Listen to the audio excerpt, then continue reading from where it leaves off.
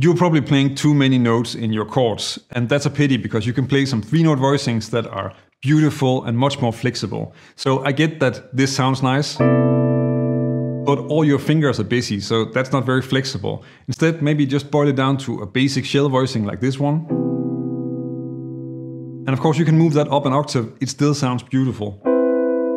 And now check out the inversions of this because they sound amazing.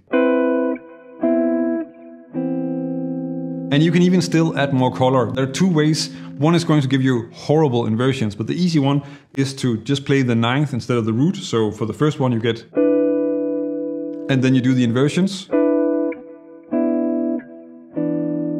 But of course you can also say the important thing is this interval.